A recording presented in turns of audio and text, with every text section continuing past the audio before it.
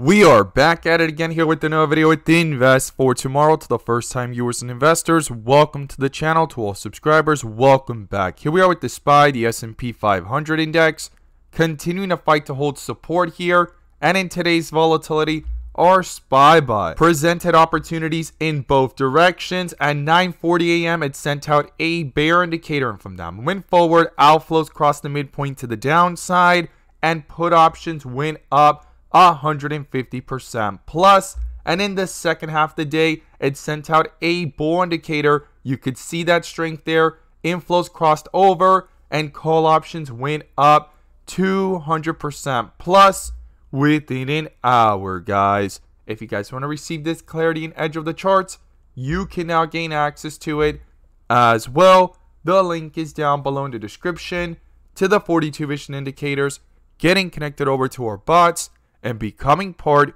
of a growing community of investors, all looking to learn and grow together by receiving this clarity and edge over the charts and using these resources to maximize in either direction, whether stocks are going up or going down. So here we are with the SPY, the S&P 500 index, fighting to hold support. And in today's video, we're going to break down the key levels I would watch going into tomorrow. But before we do, I want to share with you guys the home run opportunity that was mentioned this morning over at the Discord. So the home run today was spectacular beyond expectations. And if you guys want to know about these stocks early on and receive this clarity and edge of the charts, you can now gain access to it as well. The link is down below in the description to the 42 vision indicators, getting connected over to our bots, and becoming part of a growing community of investors, all looking to learn and grow together. So the home run today was from our Tesla bot. Our Tesla bot at 9:40 a.m. sent out a bear indicator from that moment forward.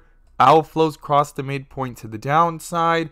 Pure weakness there on 42 vision, and put options went up 70% plus within an hour, guys. If you guys want to receive this clarity and edge of the charts, you can now gain access to it as well. The link is down below in the description to the 42 vision indicators getting connected over to our bots.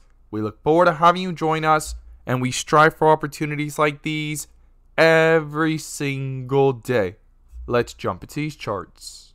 Here we are with the SPY, the S&P 500 index, doing a full transition from the rip area to the dip area yesterday and hitting the dip area once again today and bouncing back up to the rip area. And if this is your first time coming across the channel, this is 42 vision, which allows us to see the dips from the rips the rips to the dips, and where the strength and weakness lies within the charts. And we also use our and bear indicators and inflow versus outflow as an extra layer of confirmation, which I'm going to pull up here and you can now gain access to uh, as well. The link is down below in the description to the 42 vision indicator, getting connected over to our bots and becoming part of a growing community of investors, all looking to learn and grow together by receiving this clarity and edge over the charts and using these resources to maximize in either direction, whether stocks are going up or going down.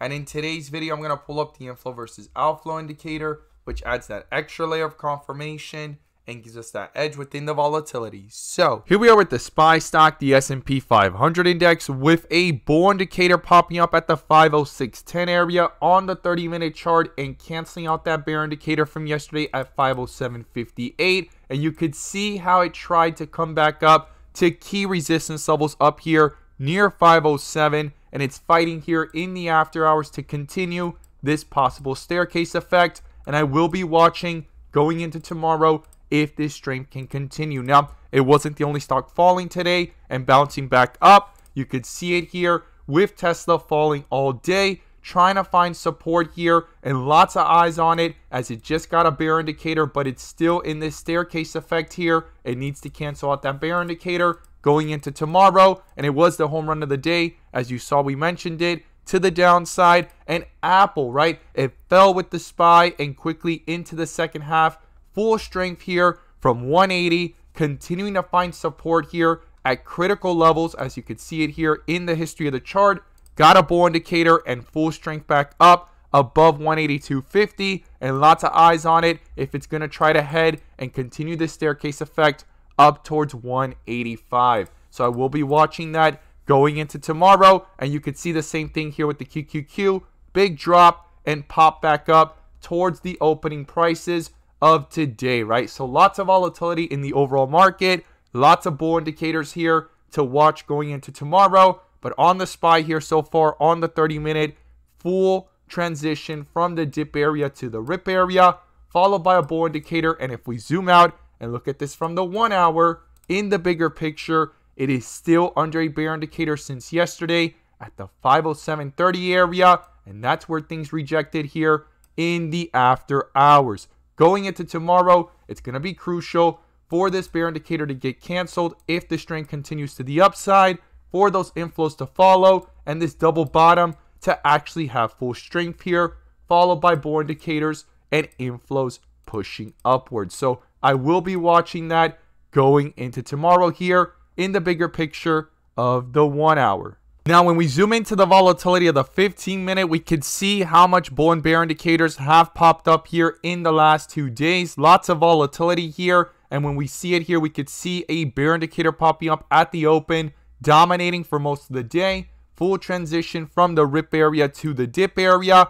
Found support near the lows here of yesterday's aftermarket hours and pop back up above that 505 area. Bull indicator popped up and started to dominate here in the second half of the day at 505.92. I would just round that up to 506 and back above the 507 area in the after hours. And it is fighting here right there at 506.99 to get back above 507 and continue this staircase effect to the upside. Now I'm going to pull up the inflow versus outflows and we're going to break down the key levels I would watch going into tomorrow.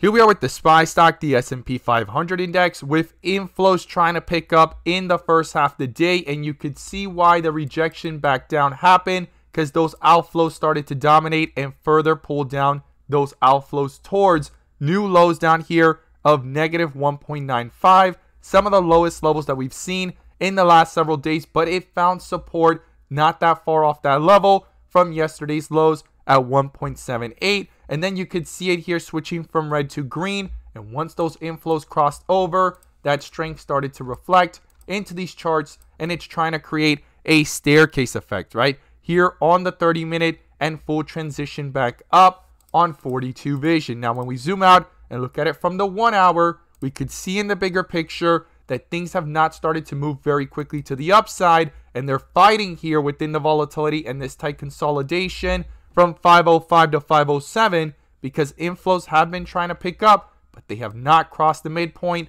And I will be watching for this going into tomorrow, right? Could these inflows continue green, push back up, get a bull indicator in the process, and start to reflect that strength into these charts and try to retest key resistance levels? I will be watching that here on the one hour chart going into tomorrow. Now, in the volatility of the 15 minute we could see how outflows dominated on the first half of the day. Full transitions down, full transition back up so far on 42 vision, but we have inflows back above, even though outflows has started slightly here from green to red. It has not crossed the midpoint to the downside, and that is why the charts have not completely collapsed, right? So I will be watching if these inflows could stay above and continue to roll over that strength into the 30 minute and one hour chart as well. So what are the key levels I'll be watching going into tomorrow? The first thing will be support if these outflows cross over to the downside on the 15 minute and roll that weakness over into the 30 minute as well. The first support will be 506. Then below that is 504.50. And then I'll be watching the 503 area. Now, to the upside, it's going to be crucial and critical for these inflows to continue pushing up. Switch from red to green continue this staircase effect here and roll it over into the 30 minute and one hour. And the first resistance is 508.50. Then above that is 510. And then I'll be watching the 512 area. So these are the key levels I'll be watching to the upside and to the downside. The and bear indicators are going to be crucial. And the inflow versus outflows, I will be watching them very closely as they've crossed back up on all three time frames, except for the one hour that is trying to get really close, and I'll be watching that very closely. As always, guys, thank you guys so much for watching, and let's make some money.